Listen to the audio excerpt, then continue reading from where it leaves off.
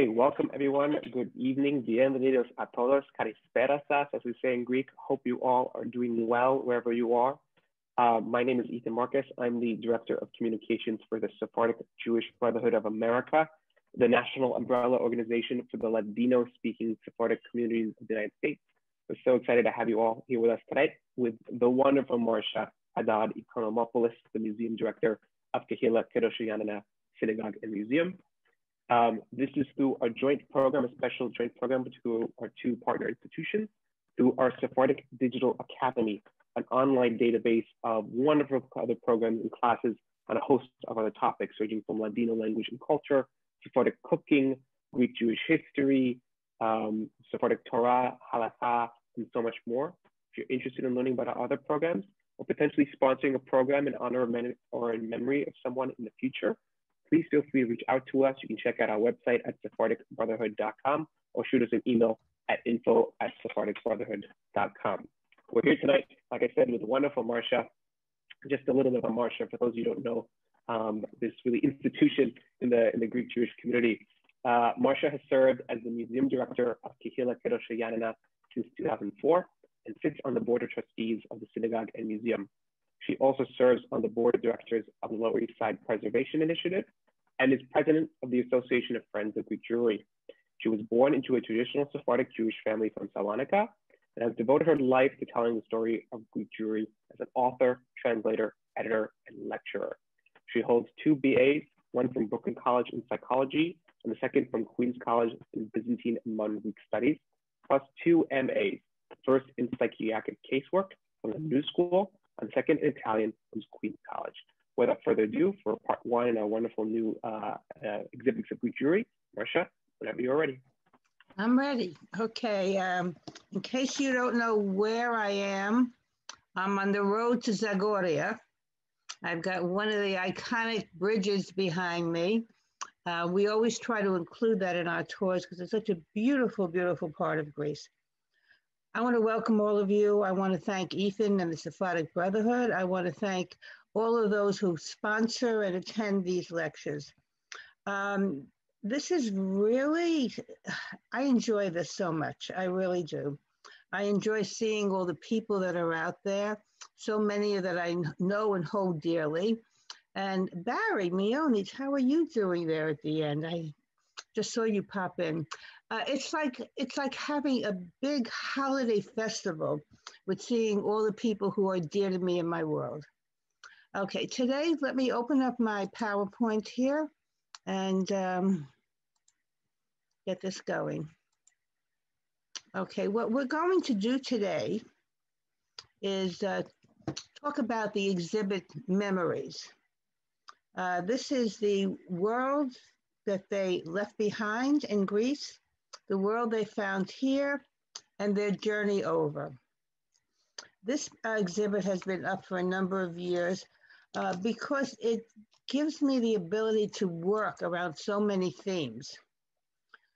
The world they left behind, most of our people came over at the beginning of the 20th century. Actually, the first immigrant to arrive from Yanina was Zakaria Yamtab, who arrived in 1899, although there are some possible earlier immigrants, but uh, they don't really fit into our traditional Romaniote Yanina world.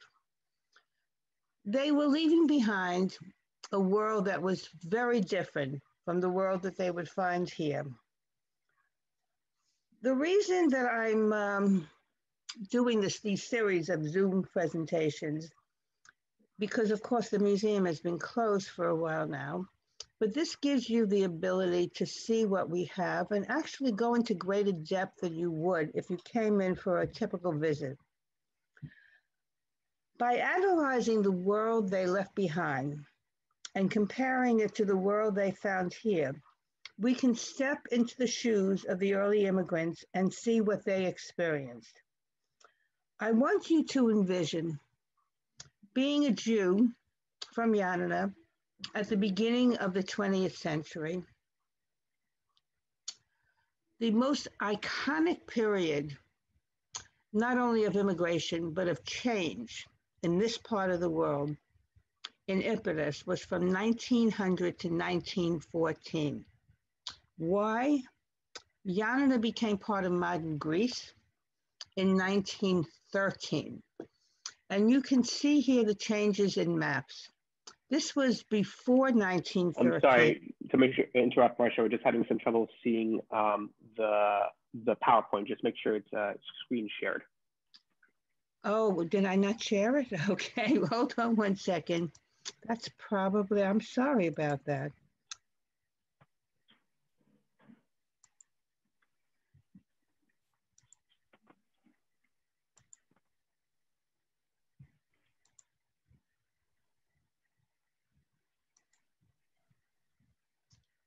Thank you for telling me that. I would have No gone problem. on and, okay. There you go. Okay, so we'll flip through this um, real fast. The World They Left Behind. The most iconic part of this period was from 1900 to 1914. Not only did a good portion of the immigrants come over, uh, but also the changes that were taking place. Here you can picture Albania on the map here and Greece. There was no Albania before 1913. That's when the border was set. And bear in mind, the setting of this border had nothing to do with language, culture, or traditions. It was an arbitrary border, and you found many Greek speaking Jews or Christians living in what would become Albania, and many Albanian Muslims living in what would become the borders of uh, this particular border of Greece. Here you can see here the division of Albania and this one over here. What was the world they left behind? It was very much influenced by the Ottoman Empire. There were Turkish speaking citizens in Ioannina, Greek speaking Christians, and of course, the Jews who spoke a dialect that was a mixture of Greek, Hebrew, and Turkish. It was reflective of the world that they lived in. I want to compare their experiences, not only of the world they left behind, but the world they found here, and see how different it is from other immigrants of the same period, both Jewish and non Jewish. The world that these Yanoti immigrants were leaving behind was basically a rural world. Although Ioannina was a, a city at that time, it was not the city that we now see. Um, their, their lives for, uh, for many of them extended outside the borders of the city of Ioannina, up into the mountains. There were Jews in Ioannina that actually had flocks of sheep, uh, cows. They were involved in the dairy industry. This, these are not Jews, but these are typical peasants of the, of the uh, era. And you can see the, the difference of what their lives were like in comparison to citizens in other parts of the world. These could be Jews, but they're not. My iconic picture of Ioannina, which doesn't change, the mist coming up in the city, is on a lake. Because of the changes in borders, it not only changed the experience of their lives within the city of Ioannina, but also it affected the route that they would use to come over to the United States. This is a market, quite different from the markets they would find on the Lower East Side. What I want you to bear in mind also is we are now commemorating the 200th anniversary of Greek independence, 1821.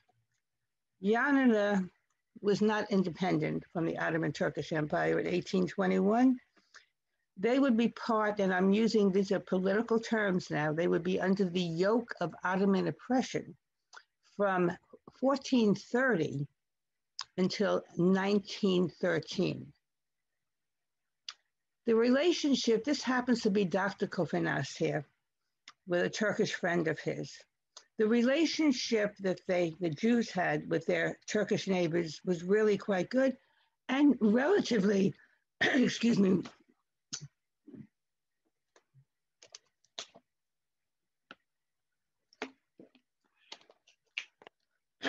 relatively speaking, compared to other parts of the world, quite good with their Christian neighbors. Simply put, they did not have economic competition.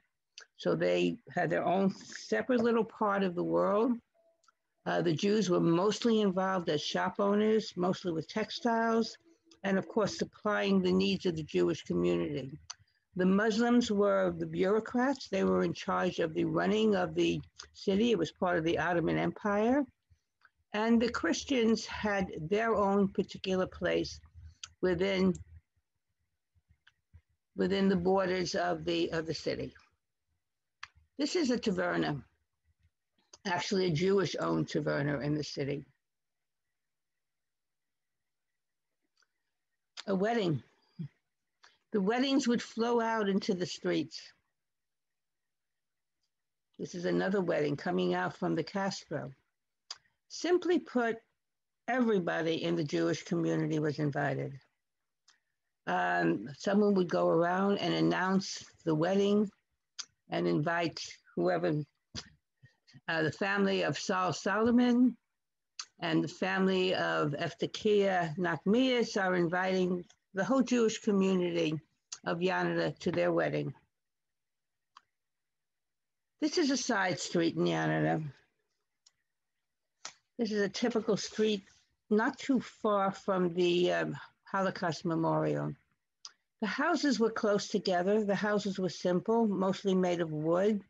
This was not a wealthy community, although there were some beautiful houses that were owned by the more wealthy members of the community another side street. Uh, this is actually right bordering the Castro, the fortified area. Very often there's a misnomer there. They call it the castle. It's not a castle, it's a fortified area. In Greek, it's fortio, the fortress. This is a wealthy family. This is the family of Nisim Levy, and this was the Levy's residence here. Now, if you look up here, the men are wearing turbans. It was part of the Ottoman Turkish Empire, and Jewish men would wear turbans. Underneath the turban, turbans would be their kippot. The rabbis were traditional. The occupations ranged from shop owners, merchants, mostly involved in textiles, and to a man who made his living actually bringing water and from the wells outside the city. There were two synagogues in the city before World War II. This is the new synagogue that was outside the Castro and was destroyed by the Germans and does not exist anymore. This, I love this picture because you can actually see what the synagogue, the old synagogue, Kehillah Kadosha Yashan, the synagogue that was probably built on the site of pre-existing synagogues in the city. But you can see the walls outside. You can see the structure of the synagogue inside, the entranceway. This is where the sukkah would be. And you can see where the one of the uh, bimahs, the main bimah would be, and you can see it from the outside. The tall Ottoman style windows that would bring natural light into the synagogue. This is the interior of the synagogue. But this chandelier, by the way, was given by the Ashkenazi family to the synagogue, and there's a little sign that hangs underneath uh, proclaiming their donation. This is the main bimah here. This would be used for Shabbat services, high holidays, definitely bar mitzvahs. There was another bimah in the center, positioned over here. And this is the, um, the uh, Echal, the Aron. These were where the Torah scrolls were kept. You know, someone had once said to me, God, this must have been a very wealthy community. Look, the uh, Aron is made out of marble. Marble was very cheap in that area. If you go along the roads outside of Yanina, you'll see the, the mines where the marble is taken from. And the iconic lake. This is not one of the more beautiful pictures of the lake, but the lake was so much a part of the life of the city.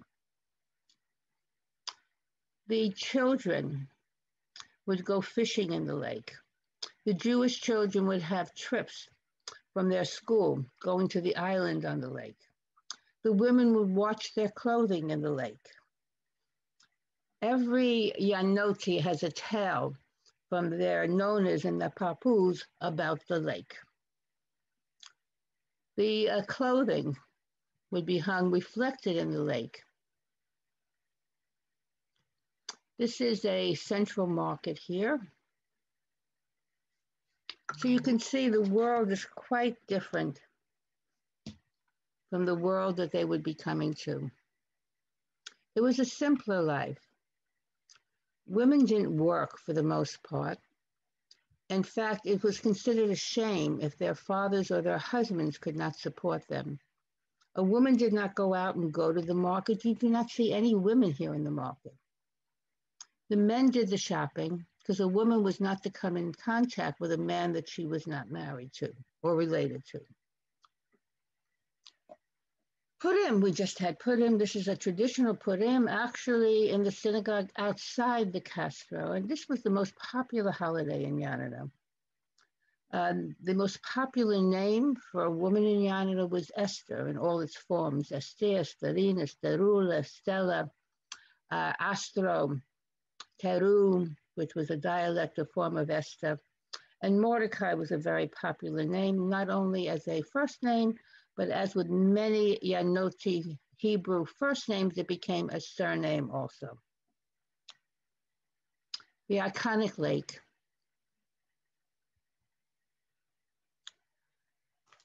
Their journey over. I've done quite a bit of research about what that journey was all about. I'd like to get rid of some misconceptions. First, let's start at the beginning. The first Yanotis to come to the New World, most of them left from a port in Albania called Vlore. And uh, why? If you look at the map of Albania and the port city of Vlore and where Yanina is, you could walk right across. They didn't leave from Patras because the Corinthian canal had not been dredged deep enough for the steamships to come in. So they took transport from Yanina, probably horse and carts, to the port city, and then they would go over to Italy. And from there, they would wind up at a city in Italy, usually either uh, Palermo or Naples, and come to the New World. Or when a ship company offered half fares, a number of the Yanoti Jews, including Leon Colchamiro, went to Cherbourg in France. That particular company that year, and it was in 1905, I believe it was, offered half price. And a good number of the Jews from Yanina could not turn down this bargain. Actually, uh, Leon Colchamiro came over initially with his wife, um, Julia, and then she had left behind two young sons. She went back to bring the sons over along with her mother in law. And it was not until later that the other brothers would come although the first of the Colchamiro brothers to arrive in 1903 was Elias Colchamiro. He was the youngest in the family. When you talk about immigration, who could leave, who would come? Sometimes it had to do with money. This was, you know, most of the time they had to save up the money for this trip. This was going to be a once in a lifetime trip. Also, what were they leaving behind? Mattathias Colchamiro was the oldest son. His responsibility was to take care of his aging parents. He was actually the third brother to come. Asher would, would die. He would never come to the United States. He would die in Albania, and his widow would come with eight children later on. So, so much of the possibility of leaving had to do not only with a desire to find a better life for yourself and your children, finances, and responsibilities at home.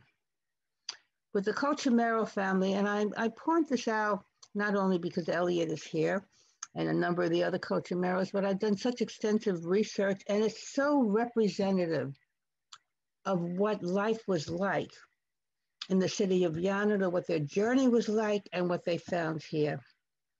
So much of the impetus for early emigration, leaving from Yanina, had to do with archaic uh, laws of inheritance, where everybody in the family inherited equally. How do you start out in life as one of 11 children, as Leon Colchamiro was? How do you support your new family? You want to find a place where you can make a life for yourself and your children. The dowries. Older brothers had to provide dowries for their children, for their um, sisters. In a family of 11, where there were four sons and seven daughters, this became a burden. And if we look down the pecking order of the Colchamiro family, we can see what happens if you were unfortunate enough to be at the bottom of the pecking order as a daughter. One of the most esteemed representatives of our community, Rae Dalven, her mother was a Colchamiro. Her mother, Esther, married uh, Israel Dalven, who was almost 20 years her senior and not the best prospect, but he wasn't asking for a dowry probably was not the happiest of marriages. There were also two women from the community who married men from Kastoria, two brothers who had come into Yanina. Isaac married Hanula Colchamiro, and they came over. Actually, Elias Colchamiro came over with his brother in law, Isaac Cohn, and his sister Hanula in 1903. Isaac uh, Cohn didn't ask for a dowry. So that's probably the reason that Jasula, Hanula's father, allowed her to marry this outsider. According to family law, he had to prove himself. But it's certain he probably had a sigh of relief that that was one less daughter that he had to provide a dowry for. Here you can see where the port of Albania was and what the port looked like at the time that the early Jews from Yanina left. This is another picture of the city of Vlora. There were other cities um, in Albania where Jews settled. In fact, many of those that settled in Albania when the what, during World War II, who were still living there, those Jews survived because the Albanian Muslims saved the entire Jewish population of Albania. It was not until later on, after 1906, 7, that we find the Jews leaving from Patra. Now, here you can see where Vlora is in Albania, Yanina, certainly a short trip, and to Patra. The greater majority of Jews from Yanina left from the port of Patra. There were a few that left from Piraeus, but mostly they were Jews that came from the eastern part of Greece and not the western part of Greece.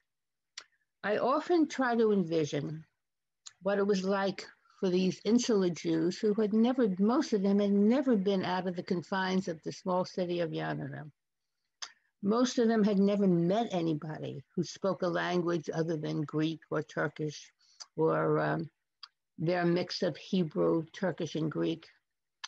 The ship company that left would leave from Trieste, which was then part of the Austro Hungarian Empire, and um, so the crew on the ship spoke Hungarian, Austrian, or Italian.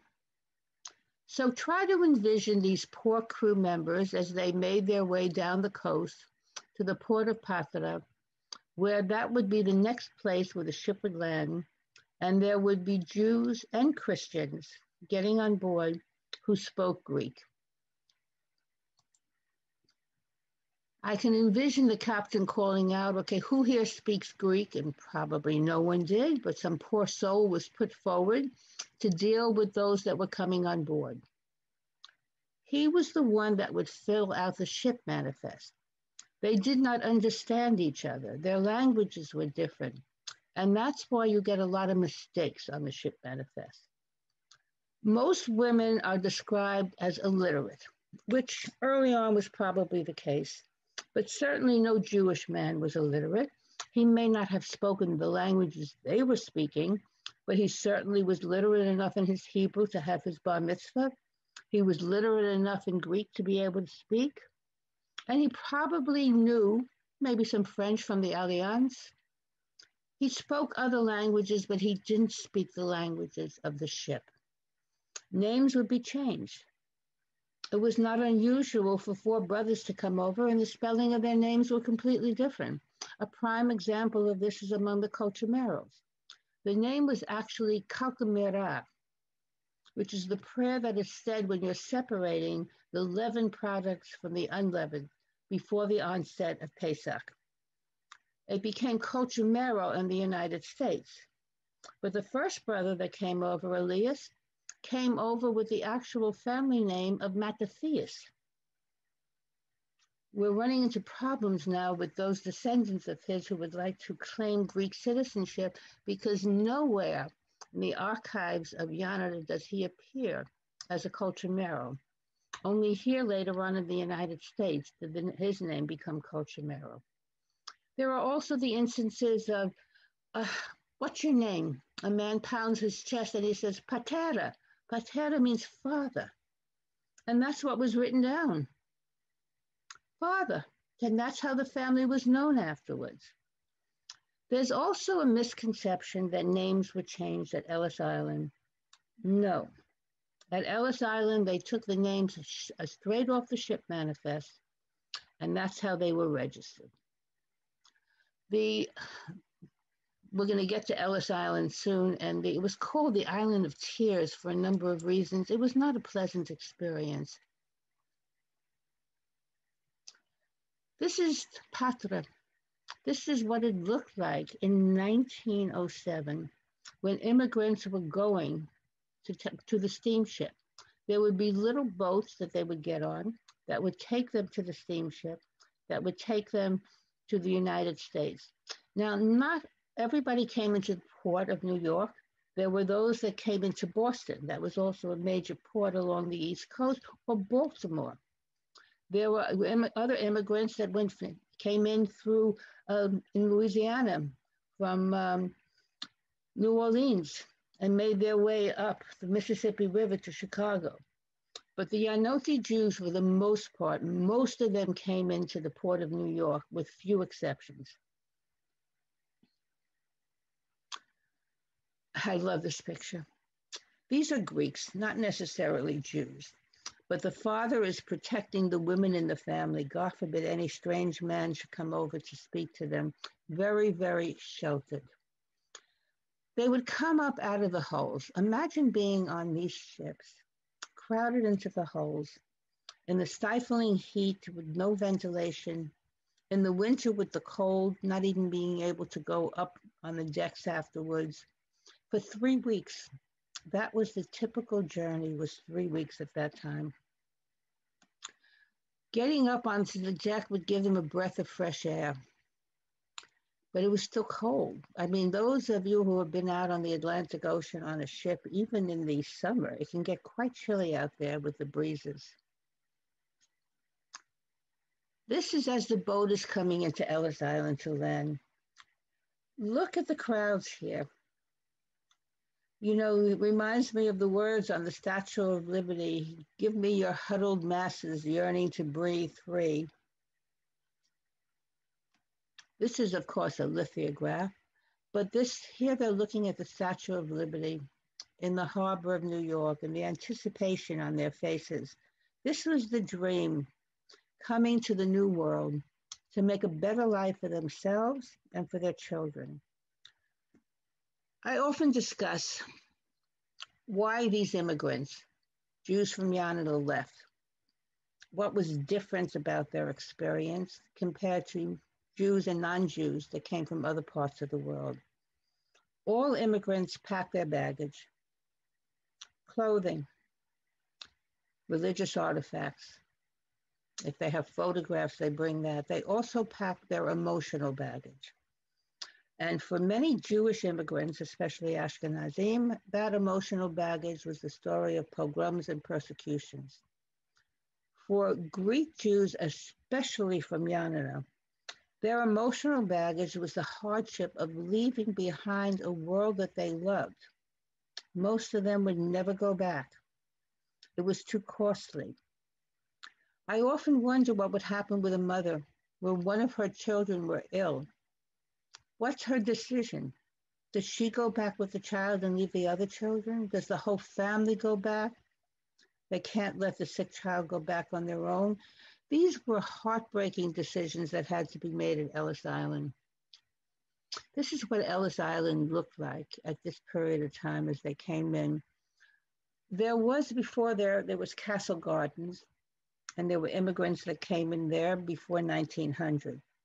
There was also a fire at Ellis Island in 1899, so the earliest immigrant, Zakaria Yomtov, did not come into either Castle Garden or to Ellis Island he came into a makeshift port that was being used for a short period of time until they could rebuild Ellis Island that had burnt down with, by fire. Getting off the ship, um, the look of the immigrants as they were coming in to a world that they knew nothing about. They had heard rumors, of course, the streets were paved with gold waiting, waiting for your physical, the anguish here, because you didn't know what would happen.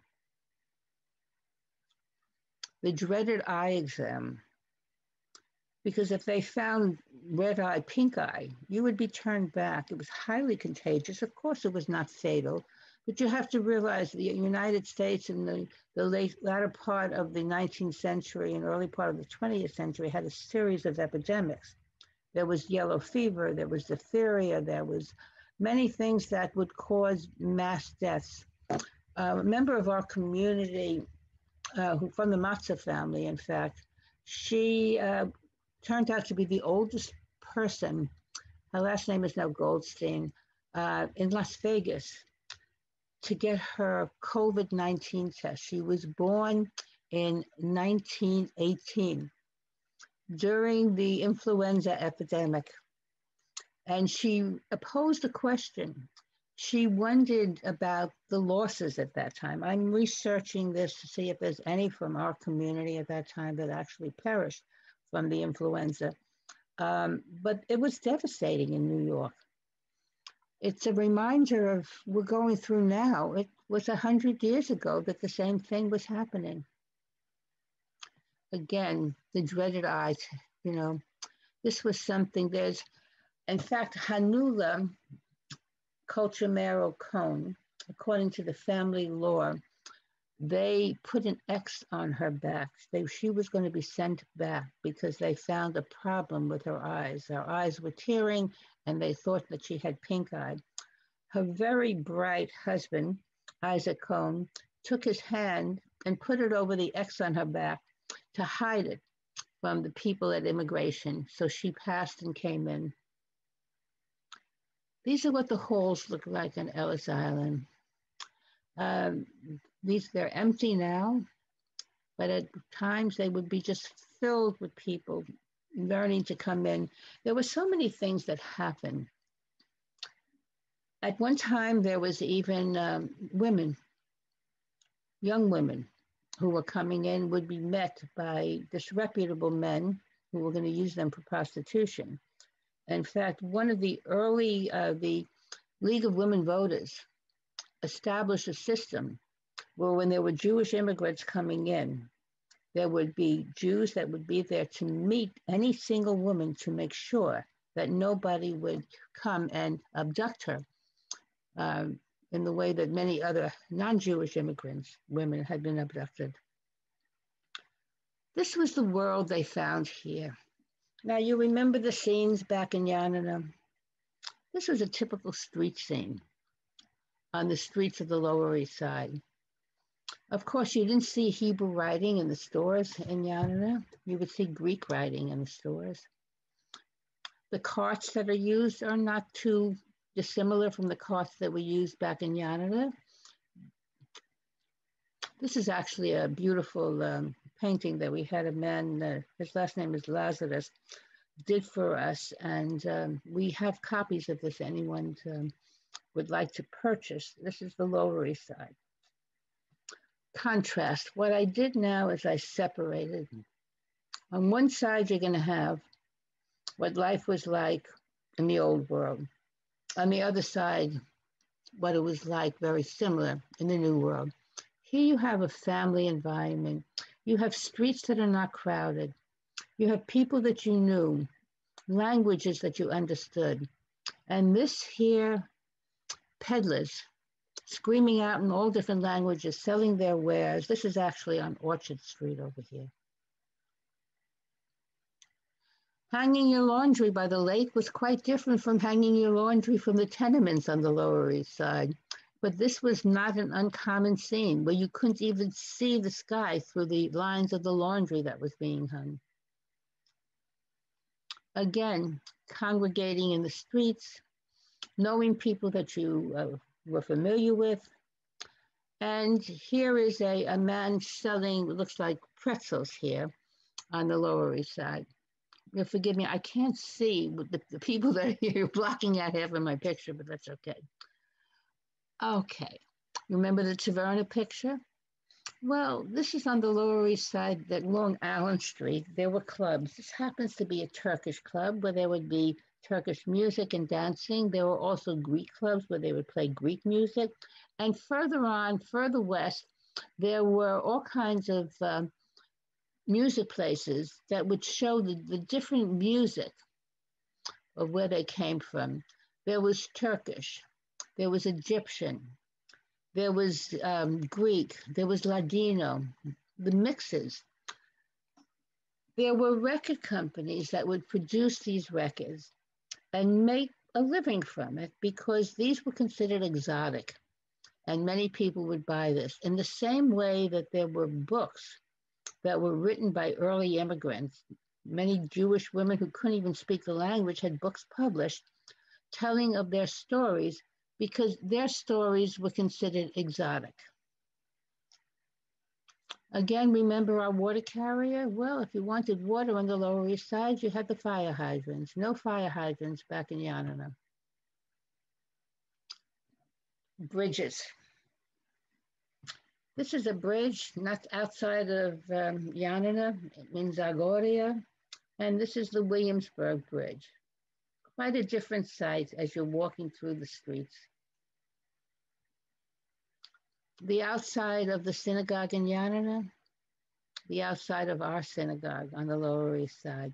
You know, there were always shops on the bottom. Now the, the shops are mostly owned by Asians. Then it was mostly owned by uh, Jewish merchants. Again, the wedding. And here is a bar mitzvah this happens to be Master Irwin Josephs, who was the son of Joe Josephs. And this is a very famous picture. There aren't many bar mitzvah pictures with the Greek flag in the background. Here's Irwin, who has since passed away. This was in 1937. His father, Joe Joseph, Athenagoras, the um, the uh, Archbishop of the Greek Orthodox Church, Rabbi Jasula Levi, sitting over here. And this is uh, another rabbi. This is Rabbi Matalek Matzel that's also sitting up on the dais. Contrast again. The streets of Yanina, the streets of the Lower East Side. This is Delancey Street. Quite different. You know, it amazes me how well so many of these immigrants adjusted, considering the stark differences from what they left behind and what they found here. But let's not be mistaken. This was not the case for everyone. There were a number of um, Jewish women from Yanina who committed suicide by jumping out of windows. It was not their dream to come over. It was their husband's dream, and they followed him like dutiful wives would do. But where he would blend into the outside world, he was a businessman. He'd be out during the day. Their lives were cooped up in the tenement apartments. They had their small world they can communicate with. Most of them never really learned English. They hadn't gone to school. They couldn't read.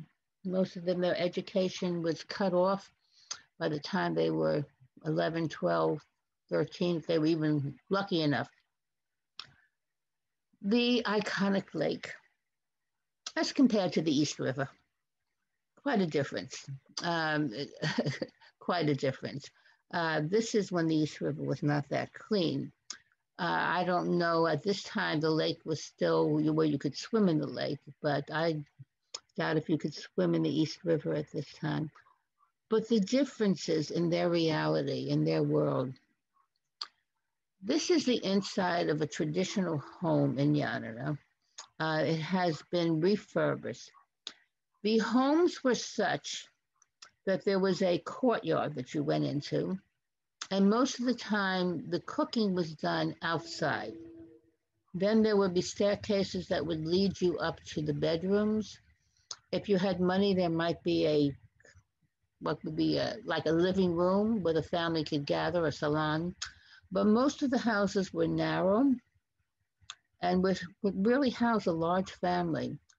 Um, it was not unusual for a family of 11 to live in one of these houses.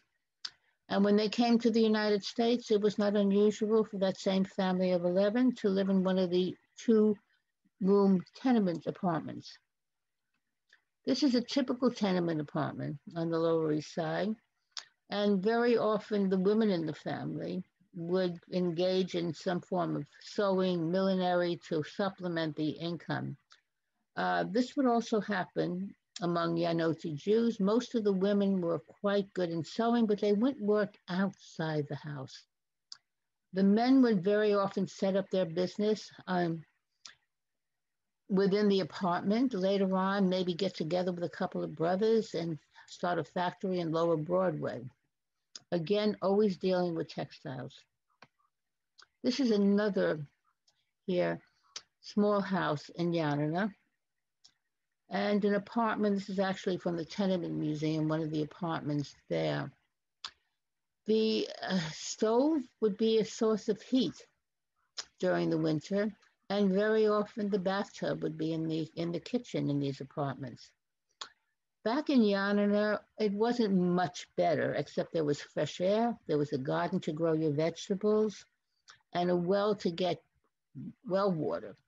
Uh, but again, at this particular time, the beginning of the 20th century, there wasn't such a thing as indoor plumbing either on the Lower East Side or in Yanina. Again, the houses, these were typical. If you look at the houses here, the architecture is Ottoman. The, excuse me, the balconies. This was the Turkish families, the women would stay up on the balconies, they wouldn't come down, they would be secluded from the eyes of the world below. Jews very rarely were the builders of their own residences or their own synagogues. Usually the style was in the style of the indigenous population of the area using the material that was available there in Yanina, most of the houses were in wood as they were up in Thessaloniki. These are traditional houses that date back from the early 1800s that are still in existence outside the Kastro walls. Some of them even go as far back into the late 1700s. On the other hand, you have the Lower East Side here. This is actually our block and uh, fire escapes. The multiplicity of apartments going upward. You didn't have that in Yanina.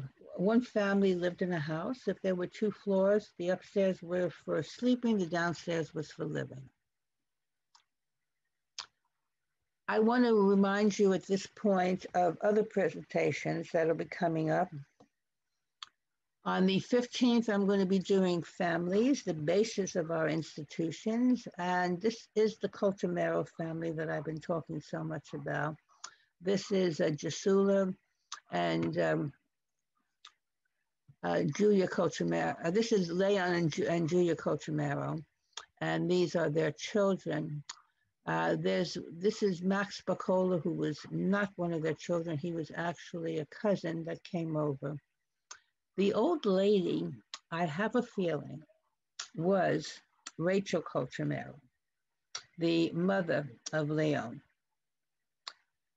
Then the last part of our three-part series is Our Gang. And this is going to be talking about Greek, Jewish, um, and the United Greek Jews in the United States Armed Forces during World War II. I'd like to also remind you that on the 14th of March, Sunday, at that's this coming Sunday at 2 p.m. on Zoom, I will be with Professor Nicholas um, Alexiou, and we'll be discussing Roman memories. We're going to be talking about emigration and immigration. Uh, Nicholas has done extensive interviews with Jews from Yanina who came over, along as part of his Hellenic American uh, collection of um, interviews having to do with immigration. And I'm going to put some flesh, flesh onto the stories. I'm going to open up the um, to questions now. Ethan, if that's okay with you, dear, let me uh, get rid of my thing here. Oh, wait, one second. If you want to reach me, my telephone number, the museum. This comes directly to me and of course our website. Marcia, thank you so much for such a wonderful presentation as always. Um, and thank you all so much for participating. We'll take a few questions now. We have some time. Um, if you have a question and you'd like to ask to Marcia, please enter it into the chat box if you haven't already. We're just gonna spotlight Marcia here. There. Okay. Spotlight this um, beautiful bridge behind me. we already actually have a few questions here, which is wonderful. So again, if you have any questions, please feel okay. free to enter them into the chat. Um, one question here is interesting. Um, did everyone attend in Yanina or just in generally in Greece the Alliance School? And for those who don't know, the Alliance School was the French Jewish school from the Alliance Israelite Universelle, which was an international organization in the Ottoman Empire did all, so did all um, the Jewish students attend the Alliance School, or was it limited to a specific group like rich or poor? A very good question. Okay, the Alliance did not come to Yanina until 1905. It came um, a good two decades earlier to uh, Salonika, but it was not until 1905 that it came to Yanina. Um, yes, not everybody went. By the way, the classes were not the same for boys and girls. The boys would have secular studies that would supplement their religious learning that they would be having at the religious schools in the city. So they would have secular subjects. They would learn to read um, in Greek when it became part of modern Greece, but even before that, there were Greek classes and math classes, um, things that would set them out in the world of business. For the girls, it was um, sewing and French you know, very, very important subjects to have you get a foothold in life. Um, but not everybody went. It was, um, it was a matter of um, economics also, because young boys left school very early to help supplement the family income. So it was not unusual for a boy of 12, 13, or 14 to be finished with his education at that time. When I did the memorial book up, at the time, the community numbered close to 2,000, and the close to 1,900 were victims from the Holocaust. Among those, there were only four professionals. Uh, there was an accountant. There was, of course, the rabbi. Um, there was a woman who was working, which was as a teacher, which was very unusual for any woman to work outside the household. And uh, then the, there was also a male teacher. But out of that whole community, only four quote unquote professionals. So this was not an educated community. And what always amazes me is what happened when they came here. how it changed.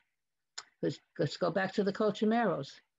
I mean, of those that came over, most of them had no education back in the old world. And yet they came here and they produced sons, daughters, and certainly grandchildren that were architects, professors, doctors, lawyers, dentists, um, and not only the men, but also the women. So the potential was there. And the reasons for coming to make a better life for their children certainly held true. It's a perfect transition, actually. Um, another great question that kind of connects this. Um, what prompted people to make this huge journey across the ocean to the US? It really seems like a huge undertaking for them at the turn of the century. There was no opportunity back in Yanina let's go back to the Colchamiro family again. I'm sorry, Elliot, I can't help it. But um, I mean, this is a perfect example. How are you going to start out in life as one, as uh, with, with the um, four brothers who have to provide dowries for their sisters and then raise enough money to start a family of their own?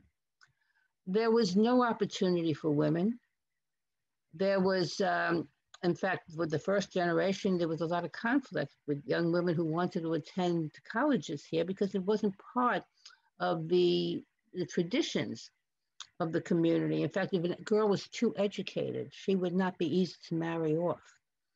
Um, the uh, it, it, was a really opportunity, uh, educational opportunity, uh, economic opportunity, and it was a war that, a world that was being torn by wars, changes in borders, and uncertainty.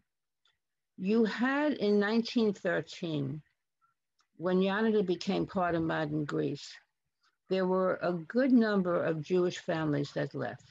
They left before, for the reasons that I stated before, but you have to realize there were the Balkan Wars, and then there was World War One, uh, there was also the exchange of population that took place in 1922-23. Their world was in an upheaval. And when the world was in an upheaval, uh, not only is the economics affected, but also the social ability is affected. Um, very often men were conscripted to fight in armies that they had no desire to fight in. I mean, take Yanina. During the Balkan Wars, you could have men fighting in the Greek army against relatives that were still part of the Ottoman Turkish Empire. So you had relatives fighting with each other. It was not unusual. All in all, it was it was probably a shock to the system to come to the streets of New York and the tenements and the um, the smells of the garbage, but they made the right decision. And also, when you think of the Holocaust, they definitely made the right decision. Another fascinating question here. Uh, how were the interactions or the relations of Greek Jews with the Christian Greeks in America and also with other Jewish denomination groups in the United States when they arrived? Excellent question. Who, who said that question? Who was that? That was Nicholas Alexiou. Oh, that's who I'm going to be with next week. Of course, Nicholas. Thank you so much. Um, Okay, excellent question. They, in many ways, these Jews were not Greek enough for their Greek neighbors and not Jewish enough for their Jewish neighbors. Many of the Jews on the Lower East Side didn't believe this community was Jewish. They didn't speak Yiddish. That was the normal concept there. And even the Sephardic Jews that lived close by looked down upon this group of Greek speaking Jews, much in the same way as they looked down on them when they were in Greece. But there was a camaraderie based on language between the Greek speaking Christians and the Greek speaking Jews. Nicholas has done a fantastic body of work on identification, how you identify yourself. And for Greek Jews, that identification, even though, even to this day, I'll get the typical questions from many unknowing Greek Orthodox Christians when I say I'm a Greek Jew, and they'll say to me, Oh, one parent is Jewish and one parent is Greek. And I say, No. Oh, you converted? No. They don't understand that Greek is an ethnicity and Judaism is a religion. And you certainly can very comfortably fit in to the shoes of both those things. Um, but on the Lower East Side, there were many institutions that Greek Jews shared with their Greek Christian neighbors, certainly in the coffee shops that lined the streets of Allen Street. They would read the same newspapers, they would listen to the same music. And for most instances, except for the um, observance of kashrut, they would be eating the same foods.